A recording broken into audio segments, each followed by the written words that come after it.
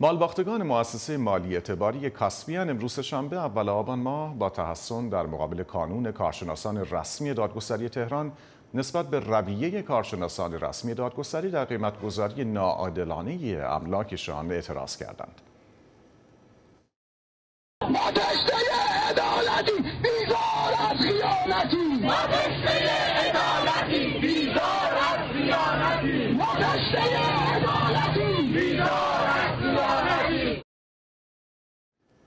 سپردگزارانی که در مؤسسه مالی و اعتباری کاسپیان سرمایه گذاری کردن بیش از دو سال است که از دریافت اصل و سود سرمایه هاشون محروم ماندند و اعتراض های گسترده آنها در شهرهای مختلف ایران در این مدت ادامه داشته که تا کنون به نتیجه این نرسیده است.